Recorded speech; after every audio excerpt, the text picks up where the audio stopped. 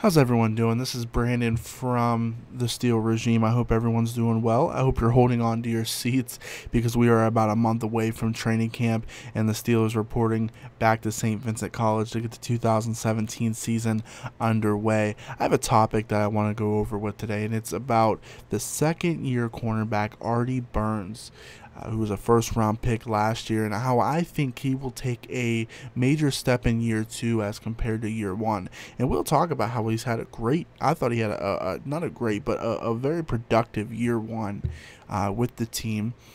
Uh, so we will. That's what we're going to talk about today. And and if you look at Artie Burns' 2016 season, he had 65 total tackles, 13 passes defensed, and three interceptions. I think a pretty productive year from a first round rookie.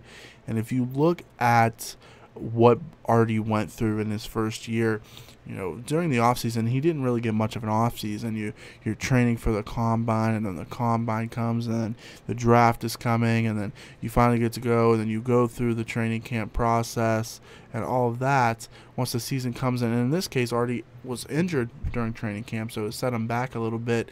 You know, so obviously there are going to be a little setbacks when he finally when he finally gets into the to the roster and to the lineup uh, where he's not going to know where to line up at sometimes and things like that. But I think he did a very serviceable job in his rookie season. Now he knows what to expect. So heading into year two, he gets a whole offseason under under his belt, a whole year in the Steelers system, and going into a year where the Steelers are expected to run some more matchup zones and man coverages, I think Artie Burns is going to excel at man coverage because he, he has the talent and the skills to be able to do that. And I think he'll be the best cornerback on the roster in 2017 because if they run more man coverage, I think he will do better at man than a Ross Cockrell. Uh, Ross is more of a zone cornerback, I think. Um, but we will definitely see is that that as well.